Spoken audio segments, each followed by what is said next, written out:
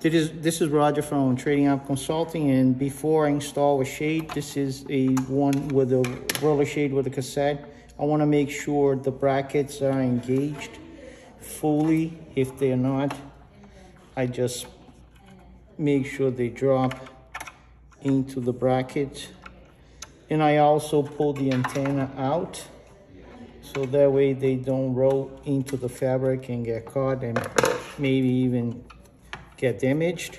And then I put it back like that. Roger Magalhaes from Trading Up Consulting, installation training for window treatment professionals. Thanks for watching.